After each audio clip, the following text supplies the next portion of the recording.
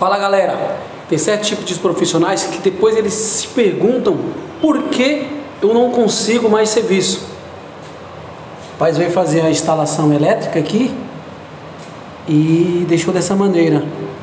Não conseguiu ligar os paralelos aí da, das lâmpadas, aí deixou assim. Mas não é só isso.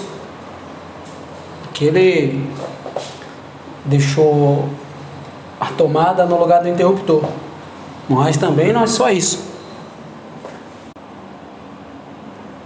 Deixou um acabamento de rejunte muito mal feito.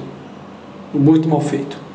E aí, essas pessoas ficam sem obra e depois ficam perguntando: Poxa, eu não consigo pegar obra, não consigo pegar obra. Quando você tem obra, você não dá uma qualidade boa, você deixa passar várias coisas ruins, por isso você está sem obra.